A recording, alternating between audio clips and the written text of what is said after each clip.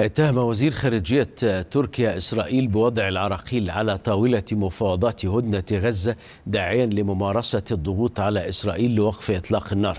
من جانبه أكد وزير الخارجية السعودي الأمير فيصل بن فرحان أكد خلال مؤتمر صحفي مع نظيره التركي أن هناك تطابق في الرؤى بين أنقرة والرياض حول حل الدولتين وقيام الدولة الفلسطينية وضرورة إدخال المساعدات إلى غزة والوقف الفوري لإطلاق النار.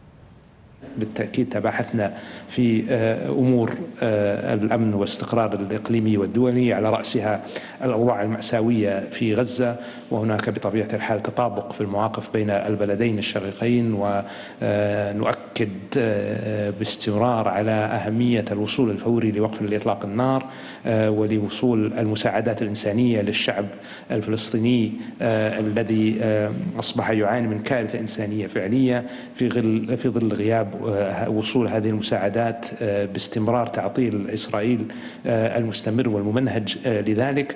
وأكدنا على أهمية أيضا أن يكون هناك مسارا حقيقيا وفاعلا لتحقيق أفق سياسي للصراع في فلسطين من خلال إحياء مسار حل الدولتين. وفي هذا الإطار بطبيعة الحال كان هناك نقاش أيضا للتحرك المشترك في إطار لجنة الاتصال الإسلامية والعربية.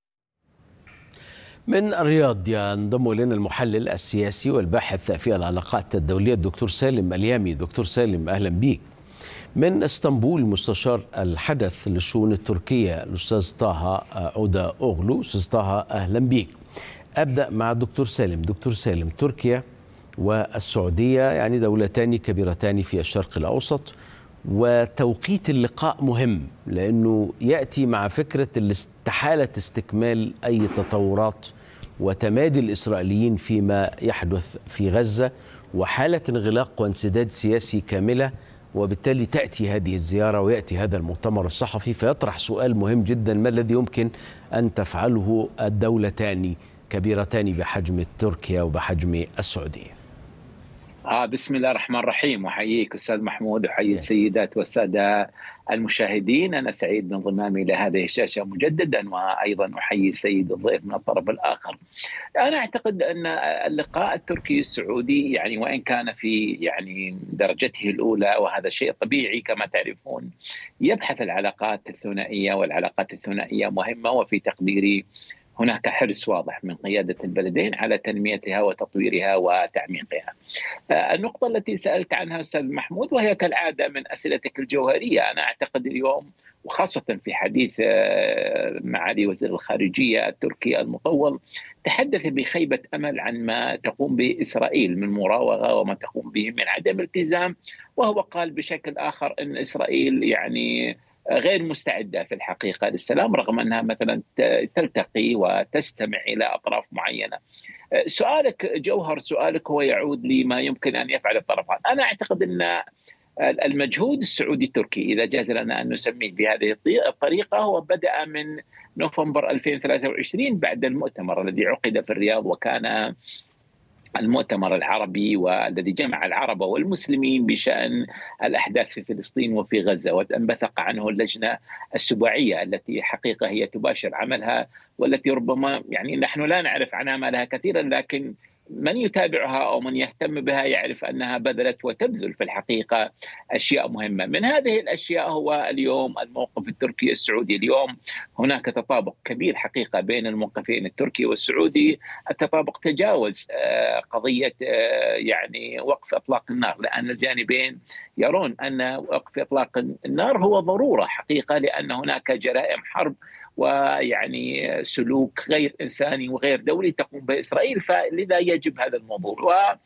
وفي رأيي أن أيضا النقطة التي هي موضوع اتفاق بين الجانبين هي قضية الحل للمستقبل والحديث عن حل الدولتين ك يعني نهاية أو كوقف لهذا حمام الدم الذي تقوم به إسرائيل ليل نهار منذ تسعة أشهر. أعتقد هذه هي الصورة الكبيرة أستاذ محمود بما يقوم به البلدان.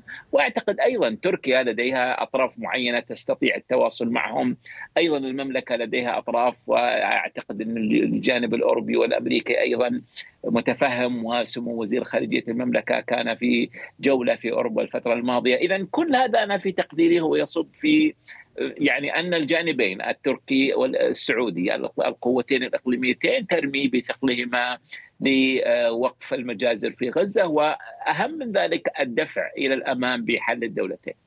أستاذ طه يعني هنا سؤال أستاذ طه يتعلق ب ما يمكن أن تملكه الدولتان. وحينما نتحدث عن السعودية وتركيا أنت بتتكلم عن تكتلين كبار في المنطقة دول العالم العربي التابعه للجامعة العربية ومنظمة التعاون الإسلامي وفيها عدد كبير جدا من الدول. إن توحدت هذه الدول قد تحدث ضغطا كبيرا على الأمريكيين والأوروبيين. الأمريكيين اولا يعني. وبالتالي هل يمكن يحدث ذلك؟ يعني الوضع الذي فيه تركيا يسمح لها بهذا بهذا الفعل يعني. تحياتي للجميع في البداية. من دون شك أنا أعتقد يعني اليوم زيارة صاحب السمو الأمير فيصل إلى تركيا هي تأتي بوجهة نظر في إطار الجهود المبذولة حاليا لوقف العدوان في قطاع غزة. اليوم قبل قليل تصريحات وزير الخارجية التركي وسمو الأمير قبل قليل كان هناك تطابق كما تفضل ضيفك في وجهات النظر وخاصة فيما يتعلق بموضوع قطاع غزة.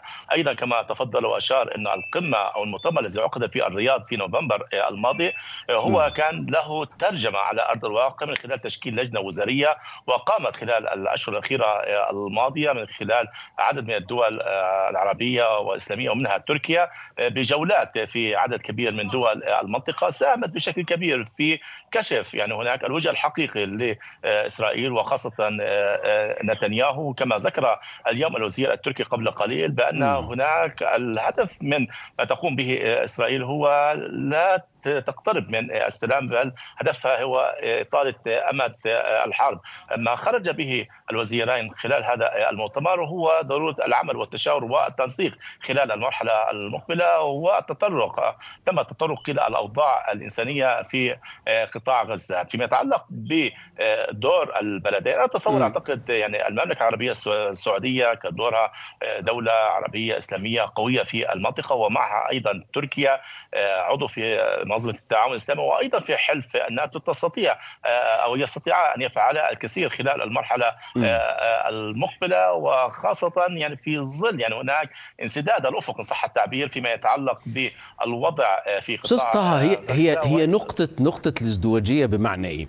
الذي يسمع كلام تصريح المسؤولين الأتراك يعجب بها جدا من أردوغان إلى وزير الخارجية لغة عالية وشديدة اللهجة ضد نتنياهو واتهامه أنه إرهابي وإسرائيل إرهابية و و و ويطالب بالمقاطعة ويطالب بأشياء كثيرة جدا. لكن أنت أشرت إلى أنك بتتكلم على دولة في الناتو يعني دولة تركيا دولة موجودة ودولة مؤثرة في الناتو.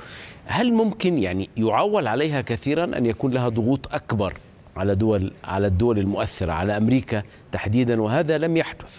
لكن لا نريد أن نكلفها أكثر مما تحتمل لأنها في فكرة لعبة التوازنات السياسية قد لا تكون ملائمة لأردوغان في هذا التوقيت. وهذا هو سؤالي يعني هل الداخل التركي ملائم الآن لأردوغان أن يمارس ضغطا على على أمريكا مثلا؟ يعني أنا أتصور أعتقد نعم سؤال في جوهري وفي غاية الأهمية وخاصة يعني تابعنا تركيا في الفترة الأخيرة منذ بداية الحرب في قطاع غزة كان نوعا ما موقفها هناك ضعيف أو خجول في بعض الأحيان لكن بعد الانتخابات لاحظنا هناك تصاعد في التصريحات لكن لم يتم ترجمته على أرض الواقع. حتى قبل يومين تابعنا تصريحات الرئيس أردوغان عندما ذهب وشارك في قمة الناتو سوف ينقل الوضع والمذابح والمجازر في قطاع غزة إلى قمة الناتو لكن لم يتم الحديث أو لم يتم التطرق إلى هذا الموضوع بشكل كامل أو بمعنى آخر لم يتم إيجاد حلول لهذه المشكلة. أتصور أعتقد الجهود التركية هي ترتطم بالدرجة الأولى بالجدار الإسرائيلي ورفض نتنياهو لأي خطوات أو وساطة تركية. وأيضا الولايات المتحدة الأمريكية التي تشهد إلى حتى هذه اللحظة أستطيع أن أقول حالة من الشد والجذب في العلاقة ما بين أنقرة وواشنطن خلال الفترة الأخيرة الماضية على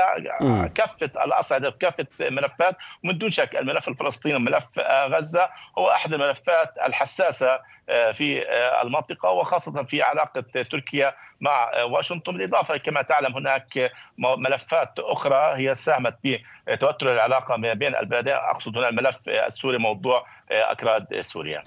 طيب دكتور سالم هل في هل في أوراق لم يتم اللعب بها سياسيا حتى الآن؟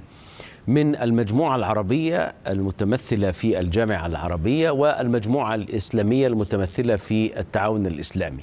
فهل ممكن هناك أوراق يمكن اللعب بها الآن؟ يعني البعض كان يقترح ورقة مثلا وهي فكرة التلويح بتجميد المبادرة العربية التي طرحت في بيروت سنة 2002 أو التلويح بتجميدات أخرى.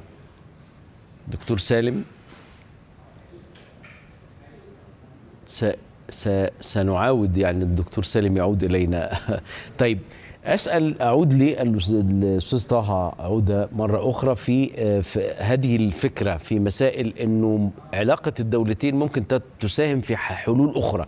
ولنأخذ الورقة السورية الآن. صحيح. يعني م. نعم يعني حاليا قبل قليل كانت تصريحات وزير الخارجيه تركيا حكام فيدان عندما سئل عن الملف السوري تحدث بأن تركيا حاليا هي تريد احلال السلام في المنطقة ويعم السلام. وكانت تركيا بدأت هناك خطوات خلال الفترة الأخيرة الماضية ب بين قوسين تصالح مع الجميع. وتحدث بأن هناك أن تكون هناك جهود أو دعم من قبل المملكة فيما يتعلق بالملف السوري لأن هذا الملف السوري هو ليس يهم تركيا وسوريا ولكن يهم المنطقة أيضا العربية بشكل كامل. استقرار سوريا واستقرار العراق هو يخدم بشكل كبير السلام المنشود في المنطقة. خاصة نحن واجهنا خلال السنوات أو العقد الماضي هناك مشاكل عديدة كان لها تأثير بشكل كبير على الأوضاع إن كانت سياسية وحتى اقتصادية في دول المنطقة بشكل عام. دكتور سالم يعني لا أدري كنت سمعت السؤال اللي أنا اصطلحته قبل أن ينقطع الاتصال ولكن أكرره مرة أخرى. هل آن الأوان لأن تلعب المجموعة العربية المتمثلة في الجامعة العربية والمجموعة الإسلامية المتمثلة في منظمة التعاون الإسلامي أوراق جديدة لم يتم اللعب بها كورقة تجميد المبادرة العربية أو سحب المبادرة العربية التي طرحت في 2002 في قمة القمة العربية في بيروت. هل يمكن ممارسة شيء آخر لم يأتي في بال السياسيين في هذا التوقيت؟ يعني هذا سؤال مهم أستاذ محمود. واولا أنا أعتذر على الانقطاع الذي حصل لكن أنا أقول لحضرتك باختصار. يعني اولا التجمع الذي حصل في نوفمبر وهذه اللجنة اللي شكلت أنا أعتقد أنها كانت تتماهى مع خطورة المرحلة. وأعتقد أن هذه الدول لديها الكثير في الحقيقة من العلاقات التي ممكن أن تضغط بها على أطراف أخرى. يمكن أن تضغط على الجانب الإسرائيلي ولعل أبرزها الولايات المتحدة الأمريكية ودول الغرب أو يعني المنظومة الأوروبية. هذا رقم واحد، هل انتهى؟ أنا في تقديري ما دام هناك علاقات دولية وما دام هناك Yeah. مصالح متبادلة فلن ينتهي الضغط، هناك من مجالات الضغوطات الكثيرة، هناك مصالح مرتبطة، هناك اعتماد على الطاقة، هناك التجارة البينية بين هذه الدول وبين منظومتين العربية والإسلامية، كلها أنا في تقديري أوراق يمكن أن يضغط بها، لكن المشكلة الآن هي مشكلة الجانب الإسرائيلي، الجانب الإسرائيلي في الحقيقة يعني خاصة ب يعني الليونة التي يظهرها مع الجانب إلى قدر كبير. أنا أعتقد هذه هذا جزء من العملية، الشيء الآخر حتى المنظومة الغربية في الحقيقة يعني كان لها مواقف لم تكن متوقعة أو هي مشينة حقيقة ويوم ما سيكتشفون إنها مشينة ولعله يعني لا نحتاج أن نوصفها بالمشينة لأن النخب والقوى الأكاديمية والثقافية هي أدانت حقيقة كثير من الممارسات التي تقوم بها إسرائيل رغم أن دولها تدعم هذا الموضوع. اذا الأوراق لا تنتهي أنا في من وجهة نظري وقادرين حقيقة على خلق كثير من الأوراق والمصالح ثم لدينا أستاذ محمود هناك دائرة وهي الدول العربية المطبعة مع إسرائيل، هذه لديها أيضا مسار أو لديها مساحة من التحرك. أيضا تركيا لا ننسى أن لها علاقات ممتازة جدا يعني على مستوى التبادل التجاري وعلى مدى التجارة البينية مع الجانب م. الإسرائيلي. وهذه أيضا مساحة يمكن استثمارها ويمكن استغلالها. الشيء الآخر الجميع ربما ينتظر تغير ربما يحدث في الضفة الأخرى أو بالجانب الإسرائيلي. إن لم يكن قريبا ففي وقت ما وربما هذا ما يعول عليه كثيرا في أن تتعدى الكثير من الأمور. دكتور سالم كنت سألت الأستاذ طه عودة أغلو على انه العلاقة السعودية التركية قد تؤثر أيضا في محور آخر مهم في العالم العربي وهو محور الملف السوري. أردوغان يريد التطبيع مع الرئيس بشار الأسد بشكل أو بآخر وأعلن ذلك مرارا وتكرارا وبالتالي وينتظر الوسيط الروسي أن يكون موجود وربما هناك لاعب آخر لاعب عراقي وبالتالي هل هل ممكن للمملكة العربية السعودية أو للدبلوماسية السعودية أن يكون لها ذلك الدور في المساعدة في التقريب وعودة العلاقات مرة أخرى؟ دعني اولا أشير إلى ما يمكن أن نسميه بالاستدارة للجانب التركي وبالحديث الذي استمعنا إليه من السيد أردوغان مباشرة فيما يتعلق بالعلاقات مع سوريا. أعتقد أن الجانب التركي أدرك أن ربما المنهج أو السيره التي كانت يعني يتبادل أو يتعاطى العلاقات مع سوريا لم تعد مفيدة لا لتركيا ولا للإقليم وهذه هي طبيعة السياسة الحية أو المتغيرة أو التي تبحث عن مصالح. بالنسبة للدور السعودي أنا أعتقد أن المملكة لعبت دور منذ قمة جدة الأخيرة التي حضر فيها الرئيس السوري وعادت روسيا سوريا إلى المنظومة العربية وبدأ هناك التمثيل الدبلوماسي ربما أحيا وأنعش وجدد العلاقات وهذا أيضا يخلق دور ربما جديد في يعني ربما يعني تليين أو فتح مسار معين مع الجانب السوري بحيث إن العلاقات أصبحت أكثر مرونة اليوم وأكثر تقاربا مع الجانب السعودي، أنت أشرت إلى نقطة أستاذ محمود مهمة وهي الجانب الروسي، أنا أعتقد إن الجانب. الروسي قبل أن نسمع الأحاديث من الجانب التركي حول إمكانية عودة العلاقات وتقديم الدعوة للجانب السوري أو للرئيس السوري ويعني هو يقبلها في الوقت الذي يناسبه، كل هذا الكلام اللين والطيب في الحقيقة والذي يشع حالة من ربما الاستقرار التي نأملها جميعا في المنطقة، أنا أعتقد إنه كان نتيجة عمل روسي. في المقدمة ربما هو الذي مهد لذلك اللغة، أنا لا أعتقد إن الجانب التركي كان بإمكانه يعني التصريح بمثل هذه الأفكار قبل أن يكون لديه رد معين عن طريق من الجانب السوري في, الغالب عن طريق يعني وصل إلى تركيا عن طريق عن طريق الجانب الروسي. أستاذ طه يعني الدكتور سالم اشار نقطة مهمة جدا وهي دبلوماسية الدول التي لها علاقات مع إسرائيل. فبالتالي هنا سؤال مهم وتركيا من داخل هذه الدائرة الضيقة والتي ما زالت ضيقة يعني أن لها علاقات لكن أنا لا أدري الحقيقة لست متأكدا من ما أقوله في انه تركيا جمدت التبادل التجاري مع إسرائيل. خبر قرأناه من حوالي شهرين أو شهرين ونصف ولا أدري إذا كان فعلا تركيا مارست تجميدا تجاريا مع إسرائيل في هذه النقطة. صحيح يعني كما تابعنا في الإعلام خلال الفترة الأخيرة الماضية م. نعم كانت هناك حتى من وزير التجارة التركي السيد عمر بلاط تحدث انه تم تجميد التجارة مؤقتا وربط التجميد بوقف إطلاق النار في قطاع غزة، لكن هناك وسائل إعلام تحدثت بأن إلى حتى هذه اللحظة ما زالت هناك بعض يعني التنقلات أو التعاملات التجارية ما زالت مستمرة، تم النفي من قبل دائرة الاتصالات في تركيا، لكن إلى حتى هذه اللحظة يعني هناك نلاحظ مسارين يعني مسار يعني سياسي بين تركيا وإسرائيل. وهذا المسار متوتر بشكل كبير كما تابعنا خاصة في التصريحات والتراشح. المسار الذي دائما هو لم يتوقف تتذكر يعني طيلة العقد الماضي ما بين تركيا وإسرائيل على الرغم من التوترات السياسية دائما العلاقة التجارية مستمرة ما بين البلدين. هناك تصريحات علنية لكن إلى حتى اللحظة لا أستطيع أؤكد أو هل هي مستمرة أم لا لكن وسائل الإعلام هنا تحدثت وعن وجود هناك بعض التعاملات. الحكومة التركية قالت بأنها هي لأشخاص أو لشركات معينه غير تابعة للحكومة في الدرجة الأولى كما أشرت يعني التصريح الحكومة عندما تتحدث بأن التوقيف هو نعم مؤقت ولا يعني إنهاء يعني العلاقة التجارية المستمرة منذ عقود ما بين الطرفين. أستاذ عودة اغلو من إسطنبول شكرا جزيلا لك والدكتور سالم اليامي من الرياض دكتور سالم شكرا جزيلا لك.